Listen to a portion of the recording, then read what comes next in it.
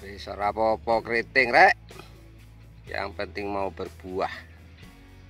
Nggak usah oke-oke keriting koyong ini iso berbuah. 0,8 kg saja sudah. Alhamdulillah.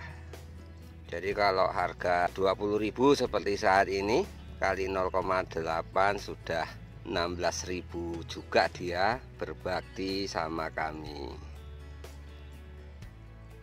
tanduran cabe mulai sampai dikeroyok karo trip godongi ireng buah ireng bintik-bintik bekas kotoran trip. Luar biasa. Tapi alhamdulillah masih mau berbakti. Setidaknya buahnya sudah cukup satu kilo ini dah. Karena imola buahnya besar. Satu kilonya itu hanya 70 sampai 80